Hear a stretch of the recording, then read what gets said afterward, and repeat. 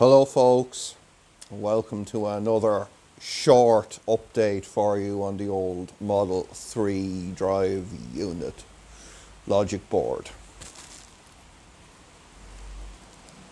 The V3. Right over there in that inverter we have a V3 connected up for you. So let's go have a look at a few motor spins.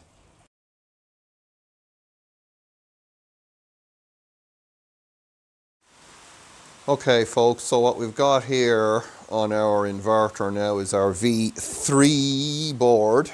Uh, this is the old V2, see with all the bodges on it.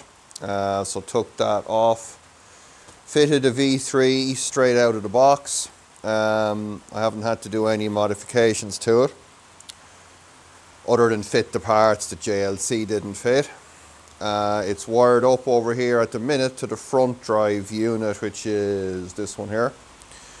So I'm going to connect up the HV and we'll start her up and we'll uh, do some spinning.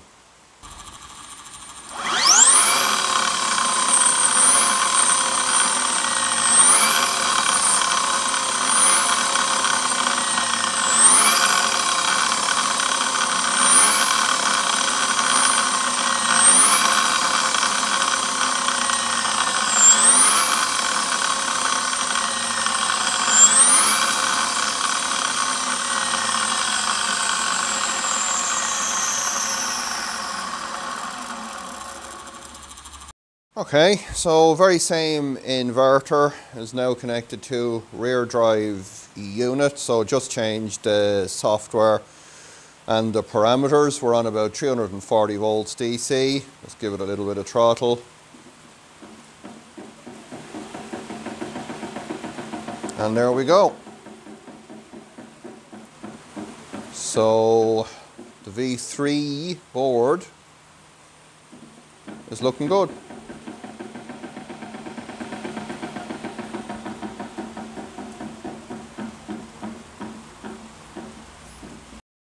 So there you have it folks.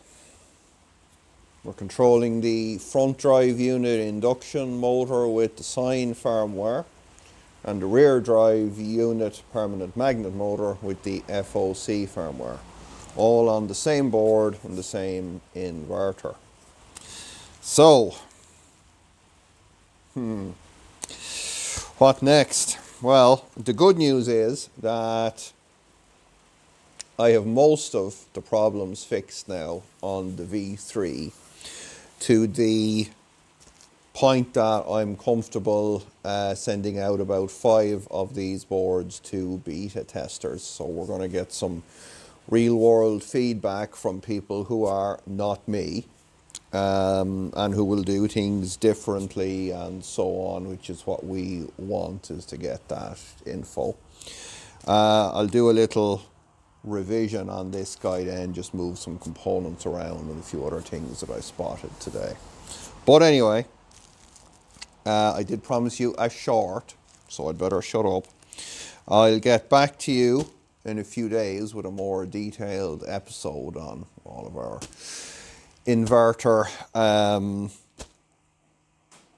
workings here and I'll also make a very long video to be avoided showing you how to fit one of these to your inverter. Five years to get here folks. Couldn't have done it without you. So thank you very much. We'll see you in the next longer episode. Don't forget to uh, ignore the links in the description for Patreon and PayPal because you know, this is all free, of course. um, do check ones for the Open Inverter Forum and uh, GitHub and all that good stuff. I'll see you in the next episode.